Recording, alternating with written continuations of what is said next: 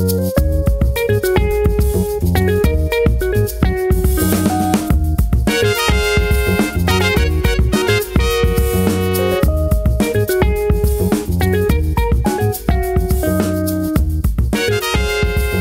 everybody, to the Thrivalist Manifesto, Episode 1 with Ben V and Dr. G.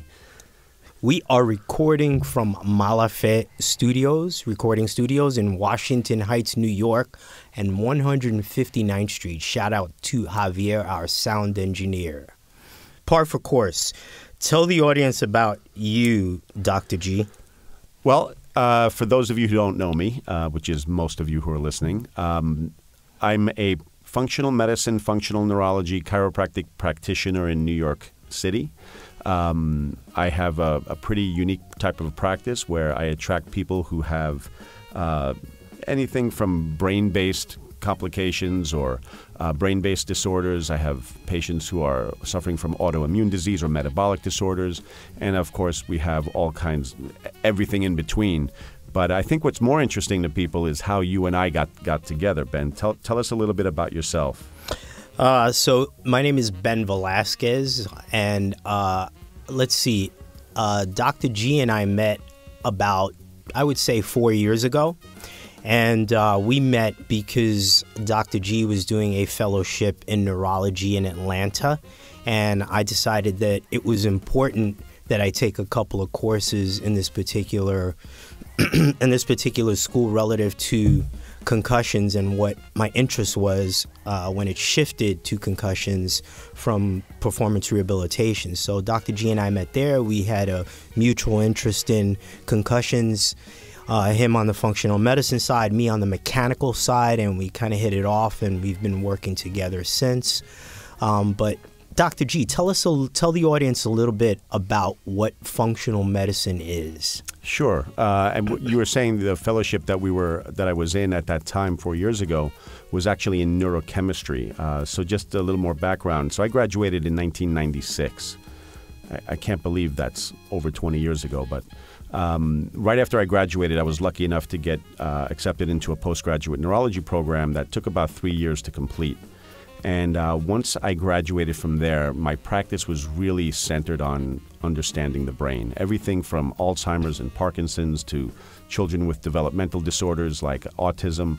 And then over the years, we started to see a lot more traumatic brain injury, especially with uh, you know issues related to the military um, and, and in sports, of course. So it was that uh, type of work that got me interested in functional medicine because invariably, when we saw somebody with a brain based complication, there was always some kind of an organic or visceral dysfunction, some kind of a gut problem. And then, of course, over the years in the early 2000s, the research was coming out pretty pretty quickly on the, the gut brain connection. And that's what we were studying back in 2011 when you and I first met. And uh, what was so interesting about meeting you is that you come from a background that's completely uh, you were out of the 300 people in that room there was nobody with your background um, your background in, in training and, and professional sports and, and uh, working with high level athletes wor- working with you know the, the weekend warrior working with the you know the mom that's looking to get, become mm-hmm. become an athlete again after she's had a couple of kids and, and over 40 you have a very unique background and and you are seeing a lot of high level athletes experiencing concussion and and bringing in some of your techniques in there. So um, I think that connection is why we started to refer to each other and then create this relationship. Yeah, it's uh, yeah, it was very serendipitous. I mean, uh, my background is is a little different, as you said. Uh, my undergraduate degree is in uh, aeronautical science, basically aeronautical engineering, and uh, after working in the field for a couple of months, I was completely uninterested in staying in that field. But I'm glad that that was what I studied in school because it's helped me quite a bit in my career. Um, I played uh, baseball at a pretty high level and always liked training, always liked the gym, always liked the athletic preparation portion of it. So I went back to school and uh, studied physiology, and I worked in corporate fitness for about three years and um, kind of quickly ran through that pipeline and realized that I wanted to work in pro sports. So uh, I initially thought about going back and getting my master's, but I quickly realized something that's important. It's important to both Dr. G and I. It's important, should be important to the audience. Um, that um, I got some good advice that in the world of strength and conditioning, and I think that now that's kind of spilled over into a lot of other professions, um, especially when it comes to performance, which is what we're ultimately going to talk about.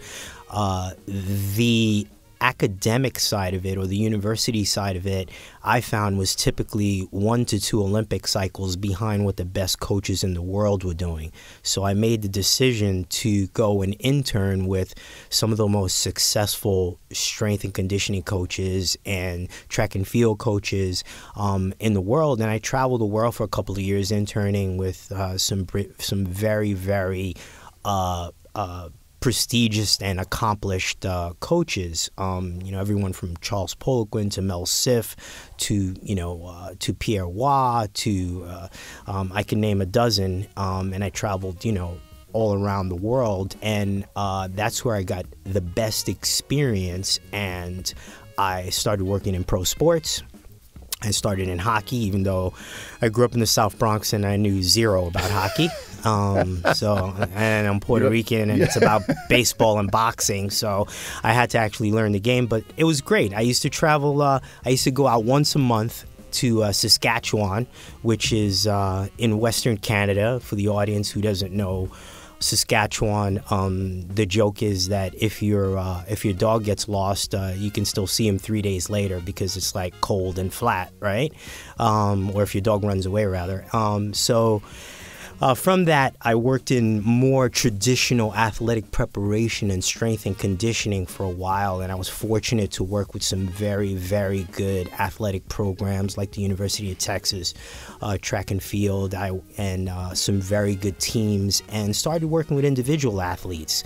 And about uh, a little over three years ago, when the whole concussion crisis became you know, frontline news in the media, I started looking at the athletes that I was seeing for orthopedic injuries and uh, and athletic preparation, and I realized that when I polled them or I evaluated them, up to 80% had had at least one concussion.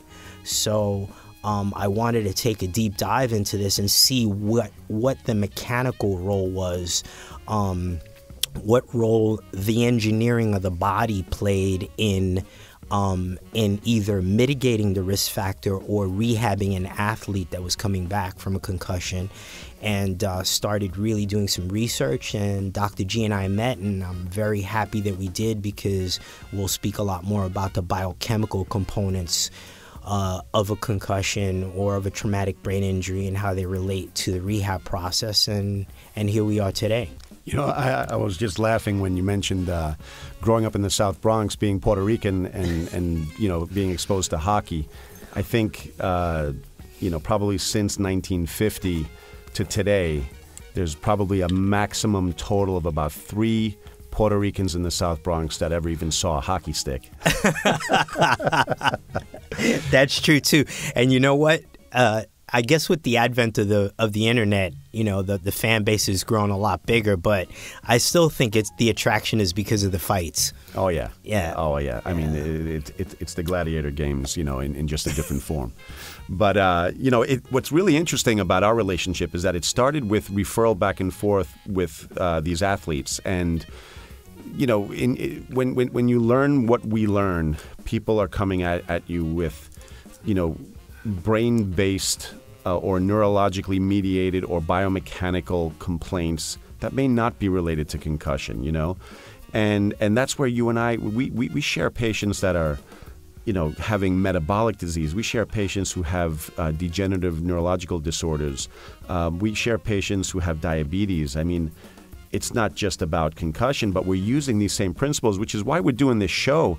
You know, if, if you look at if you look at medical science and research and how we talk about it in society, you know, it's like you have to have a stamp put on your forehead of a of a disease condition you have, whether it be post concussion syndrome or Alzheimer's or diabetes, and that's the way our, our, our practitioners and our doctors are kind of divided in their specialties and and and what we're seeing is that these are metabolic problems. So many of the interventions you and I do with most of our patients can apply across a spectrum of disorders, right? Oh, no doubt. I Yeah, mean, no doubt. They from- all have a biochemical component.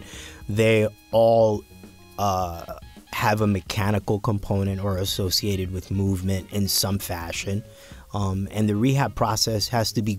The idea is that it's global, and I think that's what That's Dr. G is saying. And I think that, you know, medicine today is incredibly myopic. And I know that a lot of people are talking about this and incredibly specialized, but I don't think that the general population realizes how how what kind of sh- how shorted they're getting when they get a view like that, um, and and how important it is to look at everything globally.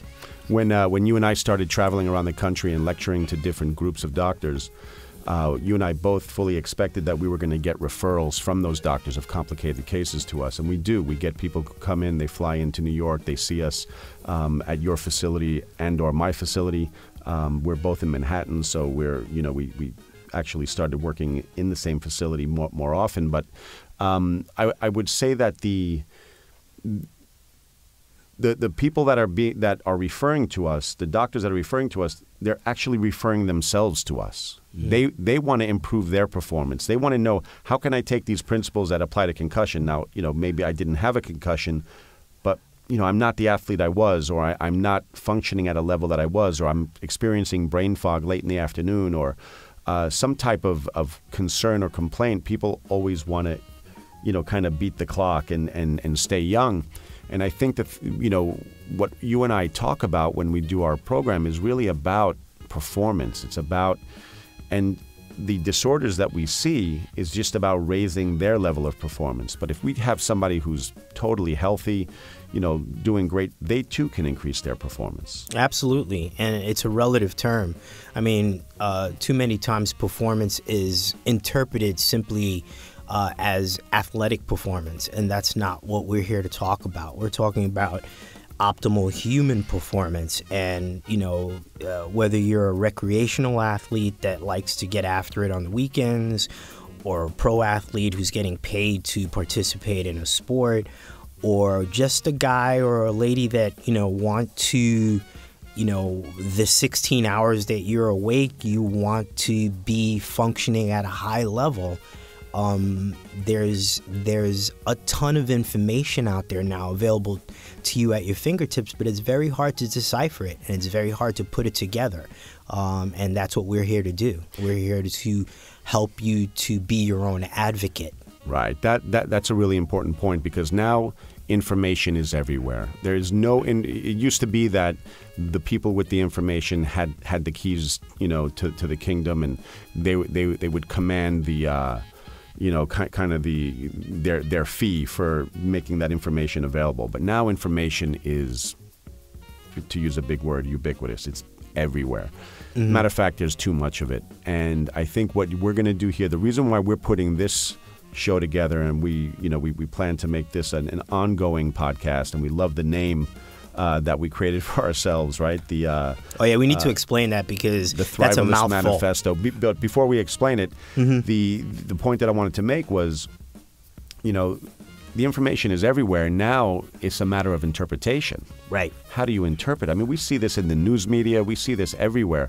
It's you know, you put on the six o'clock news, they give you five minutes of what the news is, and then fifty-five minutes of their opinion about it. Yeah. And and unfortunately, that's the reality that we have. Information is easily accessible. It comes from anywhere. It comes from the Twitter sphere or the blogosphere. But now we need to look at the validity. We need to have an opinion about it. What does it mean to us?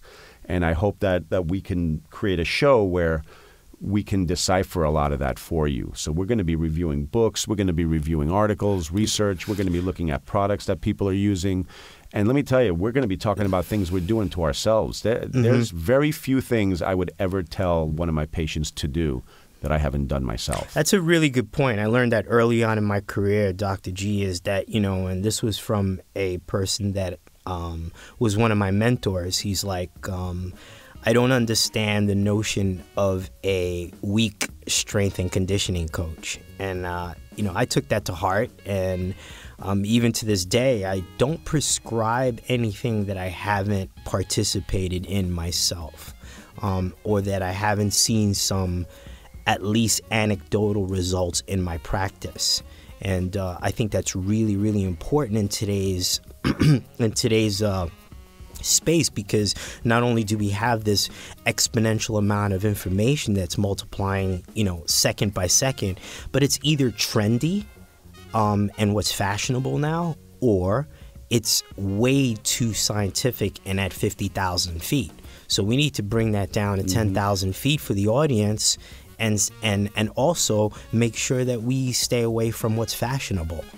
I want to expand a little bit on, on, on your history too. I mean, if you walk in, into Ben's office, there's a, a photo. There are photos up there, a lot of photos of names and people and autographs and people that Ben has either worked with or, or has has you know a contact with.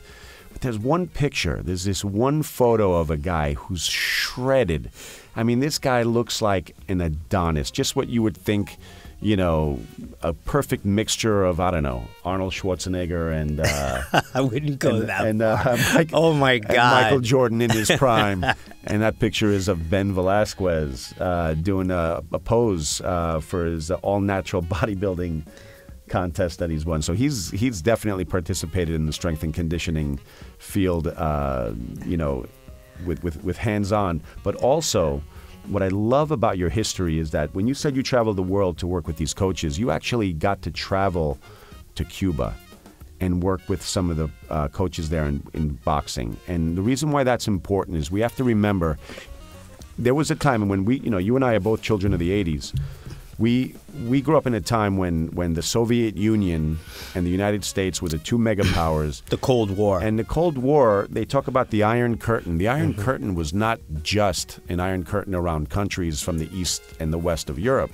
Mm. The Iron Curtain was was technological. The Iron Curtain was was philosophical. I mean, Medical. the Iron Curtain came down big and the research we were doing here in the US on fitness, performance, medicine was just very different from the directions that they were going, and the scientists and the doctors and the researchers weren't communicating. Hmm. So there are techniques from the Eastern Bloc that were, you know, very, very um, different from what were, were being used here for the athletes.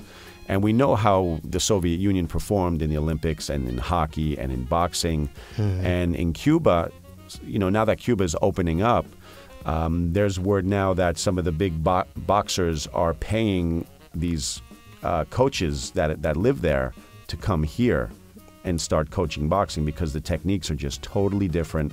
And talk about a sport with concussions. I mean, if you know they're using principles there that we've never seen here, and you had firsthand exposure to that. Yeah, yeah. I, uh, you know, I'm fortunate that I speak Spanish. Number one, and number two is that, you know, I was advised by uh, someone that I worked with to try to hook up with coaches that were educated in that Cold War Eastern Bloc era because uh, their focus was basically military and sports. And they put all of their money into the military and to sports.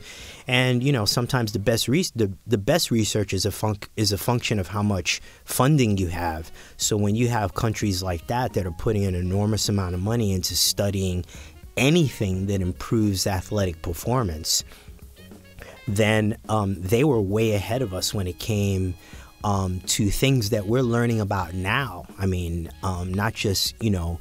Uh, relative to concussions and sports like contact sports like boxing, but you know, just things that are becoming popular now, like cryotherapy. I mean, the Russians and the Cubans studied that ages ago. Mm-hmm. What you know, what cold shock therapy did to your performance, what heat shock therapy did to your performance. So, you know, being fortunate enough to speak Spanish and work with some of these coaches, I was able to kind of peel away the fat and say, "Oh wow, this is these this is why they're getting results and how can i apply that to my practice and how can i apply that to um, what I'm doing with my athletes. And something as what seems benign, but is that it, it's incredibly important, is um, how these guys used to warm up.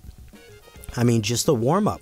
And that applies to everyone, whether you're going to um, you know, uh, Equinox, uh, you know, two, three days a week, or you're a high level professional athlete, you know, how you warm up in the gym dictates a lot. Um, that's going to have an effect on your results and your ability to mitigate injuries and your ability to get to be efficient with your training um, and the way that they warmed up. I mean, I work with some professional teams and you know they're clueless when it comes to warming up. So things like that is, is, are very very important. And we'll try to bring it down to a level where the audience can actually uh, benefit from some of this information well, there, there's a um, you know kind of a story of 2016. I think is that you know whatever is up was is now down, whatever's left is now right, and I mean everything's turned on its head. Mm-hmm. And uh, I can tell you this: um, the world of science, health, medicine is is not immune to that. Um, you know what what we're, what was also not uh, the same in the last you know 50, 60 years between the East and the West is our understanding of nutrition. And uh, mm-hmm.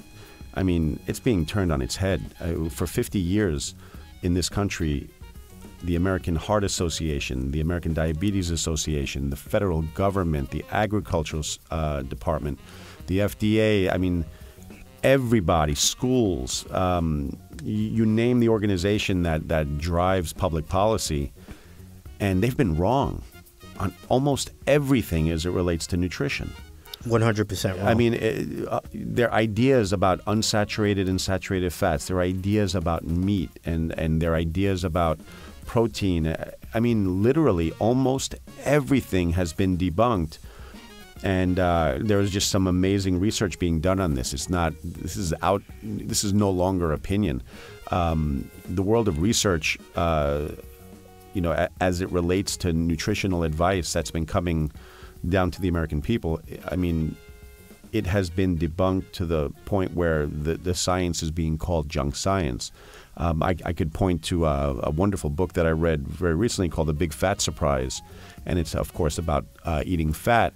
But Nina Teicholz, who who wrote that book, she is a Harvard and, and I believe Columbia trained uh, medical journalist, all the credentials you would need to decipher medical research uh, in, in, in, a way that she could be critical of, of, it.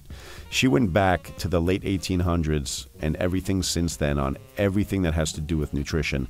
She went to the archives and actually got into the notes, handwritten notes of the researchers, and dissected every study. It took her 10 years wow. to write, to write this impressive. book. And basically, it's flipped everything on its head to the point where the former head of the American Heart Association fully endorses her book um, and, and the research behind it. It's a 500 page book.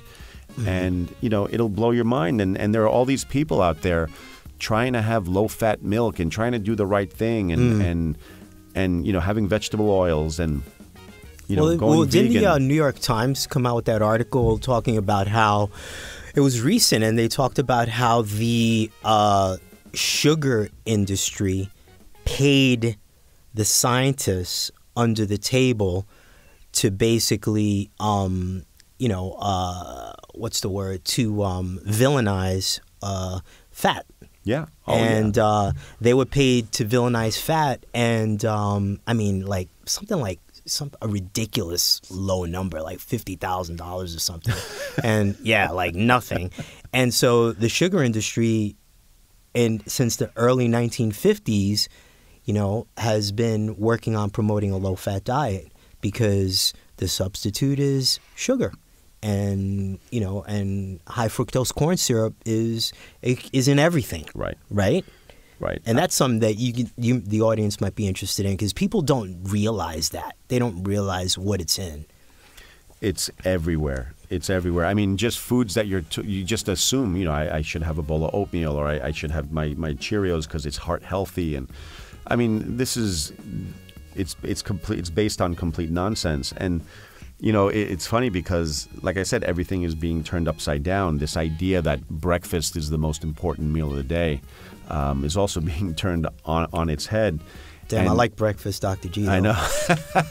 I like breakfast, man. and so- and what we eat for breakfast is is being turned on, on, on its head. The idea of, like I said, breakfast cereal, orange juice, um, you know, and bacon and eggs. Was I like what for you say. You said bacon's not bad. Bad, Bad bacon, bacon is bad. That's the truth. Um, yeah, I mean, I'm not going to make a blanket statement that you know all meat is good for you. It, good meat is good for you. I, I, I can tell you that, and the fattier the better. But uh, if you take the animal you're getting the meat from and then treat it like, you know, like like a sick a- animal and, and allow it to live in filth, well, I wouldn't want to eat a sick animal. I'd rather eat a happy and healthy animal, and you know, it's only happy until it gets sacrificed, and then and then we enjoy it. Um, and you know that holds true for fish. That holds true for for a lot of things. So meat is good for you, or I should say, good meat is good for you. And then learning Yeah. what good meat is is something that we're going to be certainly discussing. Mm-hmm. Um, so in the fields of nutrition, in the fields of fitness, in the field of strength and conditioning, rehabilitation, these are all the topics we're going to be talking about Mm. because we need a better education on this. I don't. Um, we're not going to sit here and teach everyone to become a doctor. That's not why you're listening to this show. You're listening to this show to become an expert in yourself. We want you to become an expert in yourself, and when you're an expert in yourself, you know what to do. You have your own reason why you do what what you do, and and it's not going to be just because somebody told you to do it. Um, you know, if you go to the doctor and your cholesterol was 205, and they say, you know, stop eating bacon, yeah. you'll say, all right, I won't eat bacon. But I love bacon, but I won't eat it because my doctor told me to. And That's usually what happens, followed by, uh, let me give you a script for this statin drug. Right. By the way. right. Yeah. Right. And uh, it, it's funny because that's a good segue into. I tell everybody this story because it just happened a couple weeks ago, and I take, you know, I went to a doctor's appointment with my mom, who's, you know, going to be 92 years old next next week. God bless her, and she's amazing. But, you know, just general stuff, blood pressure, and you know, triglycerides, and she's got an internist that she likes in the Bronx that she wants to go to, and I think it's because he's Cuban and he speaks Spanish, so I, I don't know. But in any event, uh, blood pressure was a little high, and I just sat back and I listened, and I thought to myself, this guy hasn't said a word about other factors that affect blood pressure. And I think his intentions are in the right place, but to Steve's point, to Dr. G's point, it's a global situation. It's a global uh, it's it's it's a global treatment protocol for everyone, including her. So I said to him, "Hey, do you have any nutritional recommendations?" Um, and he says, "Nah, just you know, just you know, eat healthy." So I thought to myself, "What does that mean? Like, stay out of traffic." You know, eat healthy, um, and uh, so I said, you know, do you have a nutritionist you could recommend? Uh, I mean, I could do it myself. I could refer her to Dr. G, but I'm just kind of feeling him out to see what he says now you know at her age if she just eats healthy you know she's just got to you know make sure to take her medication so i thought i thought to myself and i told him i says you don't have a nutritionist that you work with he says no and i said do you realize that the importance of nutrition to every single case that comes into your office? This is yeah sort of you know?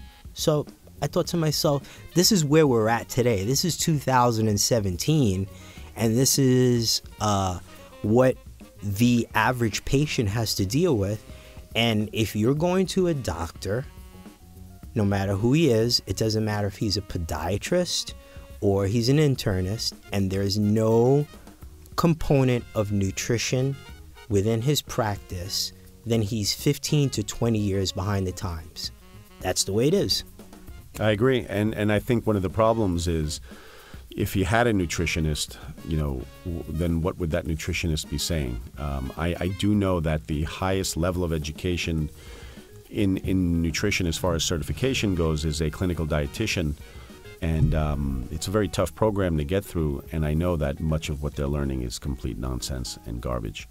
Um, I, I mean, I, I can tell you, a lot of clinical dietitians work in hospitals, and um, you know when when my when my dad was was suffering from cancer and dying of cancer, I, I walked into the hospital room and uh, you know he's got his plate in front of him with his meal, his hospital food, and it was basically. Um, you know, chopped up hot, uh, hot dogs and sauerkraut. Oh yeah, my I God. mean, and I mean, and margarine. You know what I mean? Like, it's just, it's com- it's completely out of control. Uh, you know, a, a hospital is going to make decisions based on budgets and, um, you know, what what they're fed from the FDA, and and as you said before, there's all kinds of biases and and um, you know conflicts of interest there. So we really got to take control of our own health. If you find yourself in the hospital, you know, hooked up to tubes and just hoping that somebody can do something to you, to then you know, that's that that's a bad situation to be in. What we want you guys to do as our listeners is to avoid all that, Yeah. and and and to thrive. So To some, thrive. so- some people say, you know, hey, how you doing? You know, and somebody say, ah, surviving. I never say that. That's such a New York thing. You know? I'm surviving. Yeah. Yeah, That, that yeah. that's like minimalist. That, that that's like surviving is like I'm, I'm barely getting by. Right. So our thing is to thrive, right? And and when I say our thing, it, it, it's the, the the people who are interested in what we have to talk about. They want to thrive, and that's why we call the show the Thrivalist Manifesto. That's it. That's our platform, and you know anything regarding human performance that we can communicate to you and research for you, and like I said, bring it down to a ten thousand foot level for you, so that you can on the next day be able to apply it to your life. That's the thing. How do I apply this right now? You know, how do I apply? Uh, I want to exercise, but I don't know what to do, and I have two hours a week, um, and there's so much information out there. What do I do? What's important? You know, and we'll try to break that down for you. Even in the in, in something as simple as not as simple, it's something as common as weight loss. You know, just what what 95% of the professionals out there think is completely wrong. Um, if you just ask yourself the question, and uh, the, the work of Dr. Jason Fung from Ontario is really amazing on this, where ask yourself the question, why are there no reunion episodes of The Biggest Loser? and and it's a show that's been running for I don't know ten years or so. Virtually hundred percent of them within two years have gained all of their weight back and then some. hundred percent. Dr. G throwing out daggers on the first episode. I love it. Yeah. But but th- th- this is reality because here's what we think. We actually think that if we eat less and burn more, that we'll lose weight, and it's true. We've all experienced it.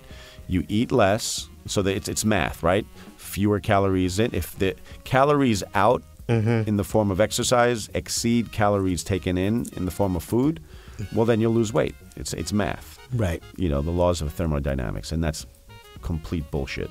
Yeah. And it's complete bullshit because that's why everybody gains all of their weight back. Just yesterday, I was watching uh, a documentary. It's only about a half hour long, and I, I want to. I think it's called Weight Gain. I kind. I think I purposely blocked it out of my memory. Uh, but I was watching it with my wife. It's an HBO documentary. One of the very first lines in the documentary is exactly what Dr. G just said. They're talking about thermodynamics. Calories in equals calories out.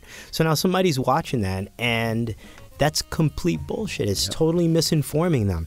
And so the crux of it was a study that they did that took nine months where they put patients in a hospital and gave them a liquid diet and they measured their uh, their body composition and their weight, and then they measured how much weight they gained back after they left these controlled environments and whether it had any effect on their so called set point.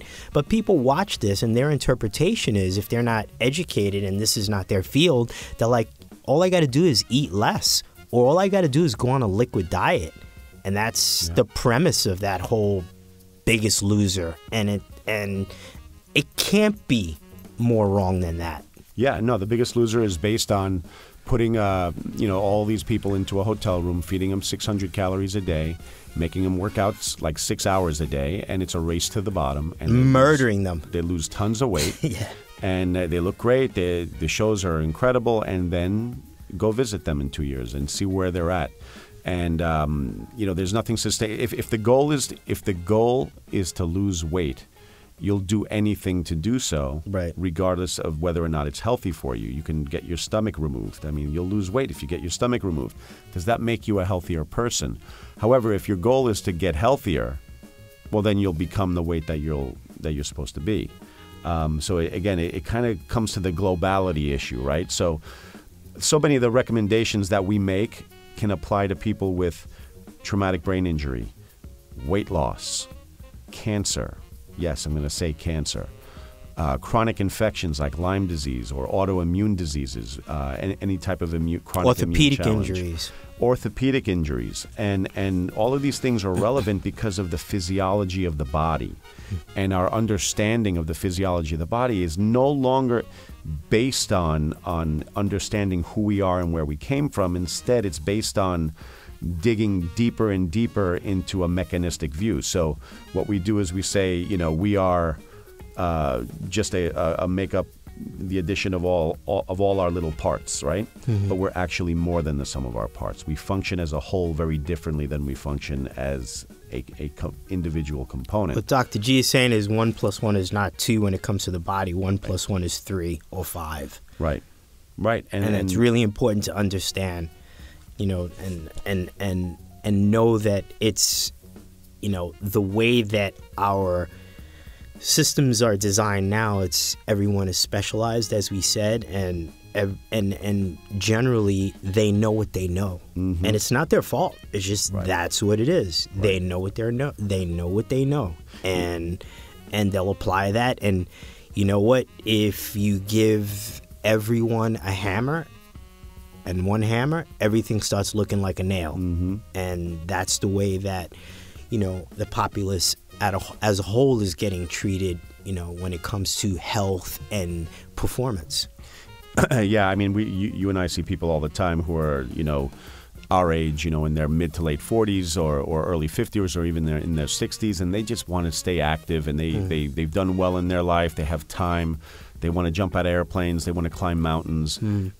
But they, they, they need a knee replacement or, or, or they, they're waiting on some kind of uh, arthroscopy type of surgery for their shoulder or their knee. They have chronic back pain. Um, you know, they, they're starting to get forgetful. They, they have a parent that's dying of Alzheimer's and that you you can see the concern and the anxiety in them, and so they start seeking a specialist. Right? I'm going to go to the neurologist for my brain. I'm going to go to the orthopedist for my knee. I'm going to go to all these diff- different doctors. And the fact is, and we've seen this, we can give a recommendation to somebody that encompasses their their genetics and their health and you can see things improve across the board. You can see dramatic changes in blood sugar. You can see pain disappear. You can see improvements in cognitive function, the ability to focus and concentrate. And and then they say, "Oh, what kind of a doctor are you going to that that they can make all the, all these things get better?" And I always say, "I don't do anything. It's what can I get you to do for yourself?" Well, that's funny because I always use the phrase, yeah, who's the best therapist? You're the best Right? therapist. Who's the best doctor? Yeah, you're the best doctor. Right. Not not from a uh, not not from a from a natural or what we call an innate standpoint, where it's built into you. Let the system work, and it will. But if you put yourself in environments that are just not natural to your genetics, well, then you're not going. You, your your genetics are not going to respond appropriately Correct. right? Correct. So we always talk about, uh, you know, there there's this. Some people believe that our understanding of genetics is going to be what conquers diseases like cancer and diabetes, and what we now know, and and this is where the research is going um, in basic science, not in the pharmaceutical companies, but in the basic science, is going towards epigenetics. You know, how does the environment turn on and off different genes? and then define the environment. What is your nutritional environment? What is your light environment? What is your your your Sleep. electromagnetic environment? what is your sleep environment? What is your your emotional spiritual environment? Mm. Who do you who do you hang out with? Mm-hmm. Um, so those are all things that impact your genes. And it's again, we want to break it down. How can I create the best environment so I can enjoy my life today? we're not. If you're How do I thrive? yeah. How, how do you thrive tomorrow mm-hmm. morning? Mm-hmm. It's not about I'm doing all these things for my health because I want to live to 150. Yeah, you know what? If I do live to 150, I I, I don't want to be wearing diapers. Right. But but it's how I wake up tomorrow. It's how I wake up tomorrow and enjoy my family, my kids. It's can I can I do a Tough Mudder? Can I climb a mountain? Can I do these things tomorrow? Right. Right? Exactly, exactly. What I want to thrive, and how do I thrive, and and and how do I do it on a consistent basis? Yeah. That's the key. So Ben V, I think this was a good first show to kind of give an overview of, of where we're going with our um, with, with this podcast. We're going to be doing we're going to be bringing to the table interviews. We're going to be bringing research. We're going to be talking about books. We're going to review products. We're going to give our experience to to the listeners. Um, the experience. We're going to take requests from the listeners as Mhm. well on topics that they're interested in. Absolutely. So uh, stay tuned for and keep an, an ear open, and eye open for our website that's going to be launched, and um, you know, a way to sign up for our, our, our newsletter, because our goal is to give value and information that you can use. And we appreciate you tuning in. Absolutely, and tell your friends. Tell all your friends.